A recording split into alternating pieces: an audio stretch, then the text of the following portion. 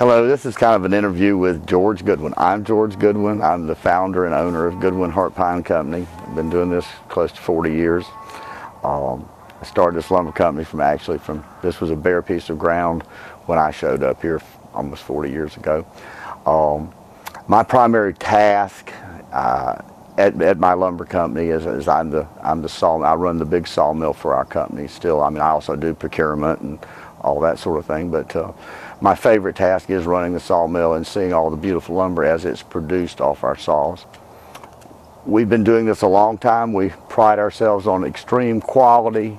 Uh, we try to uh, make sure that every customer gets what they want and is very highly satisfied with the product that we provide.